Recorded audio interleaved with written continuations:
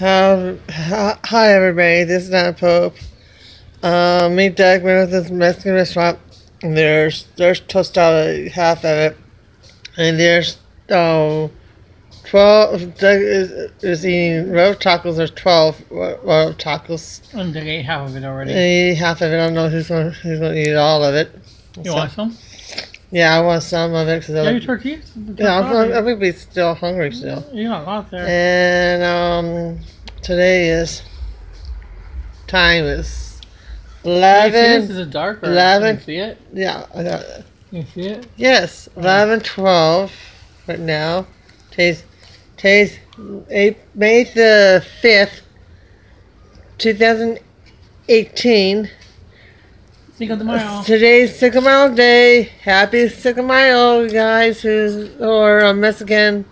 Um, talk to you guys later. Bye.